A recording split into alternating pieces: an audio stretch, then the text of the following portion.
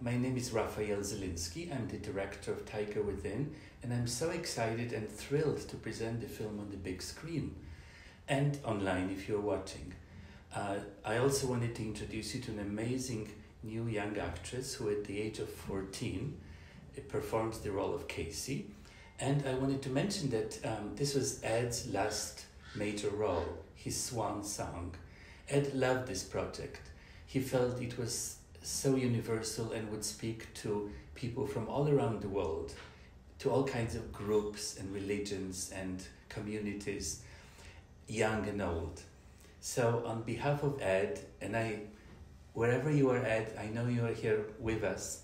Um, we invite you to enjoy the film, and we're so grateful that you are here to watch it. Thank you. Enjoy.